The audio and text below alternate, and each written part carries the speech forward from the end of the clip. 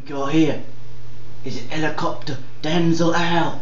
Now one bite from one of these blokes will kill ten of me like that. I'm gone. And I'm gonna touch it. I'll show you how to get out. Alive. Come here, beauty. It's angry! It's angry! It's going to attack! But I think we gotta settle down a bit. Let's see if we can get a cooker for dinner. Cause the meat on a helicopter damsel owl is loaded with proteins and precious vitamins and minerals. See if I can just swing from one beam to the other, try to catch it, get some momentum in my legs. I don't think I can do it. Ah. It's alright. That's why they stay really high up there. They stay safe in their own ecosystems. So predators can't make their way up, including me.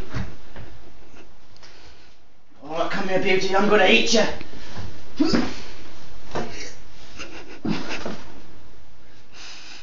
It's looking right at me. I don't know what to do. Easy, girlie. Easy.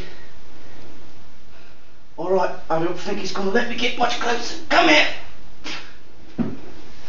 He's a lot faster than me. Which means I'm gonna have to outsmart him. We'll have to work him out through the door or the window by scaring him the other side of the room. Now I made this device out of voodoo branches and cocoa leaves. It's a Carhartt jacket. And it should work just fine for scaring him to the other side of the room so we can get to freedom in his natural habitat. Go on, girlie. Go on. Wrong way, mate. Go that way. Oh, he's a silly bloke, ain't he? Come on. Out the door, this way. It's angry! Oh, I got him in the right direction.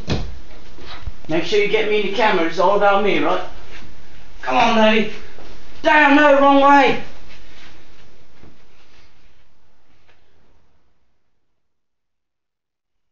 Now, the ancient Native Americans would worship these helicopter damsel owls.